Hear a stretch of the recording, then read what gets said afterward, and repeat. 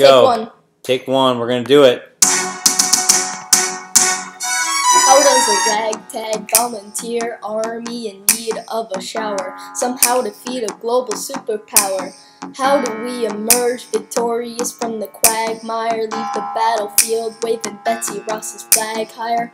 Yo, turns out we have a secret weapon, an immigrant you know and love who's unafraid to step in. He's constantly confusing, confounding the British henchmen.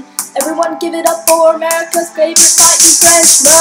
Lafayette, I'm taking this horse, spelling make it red clips for the blood stains. Lafayette, I'm never gonna step until I make a drop up on the bus till. Uh, Lafayette, watch me engaging, I'm escaping, I'm enraging, I'm ah, Lafayette, I'm gonna spend some more funds. Lafayette, I come back with more guns and ships, and so the balance shifts. We rendezvous with Roche and consolidate our gifts. We can end this war at Yorktown, cut them off at sea. But for this to succeed, there's someone else we need. I know Hamilton, so he knows what to do when trenches you do with a good through the French. I mean Hamilton, so you're gonna have to use him eventually. What's he gonna do on the bench? I mean Hamilton, no one has more resilience or matches my practical tactical brilliance.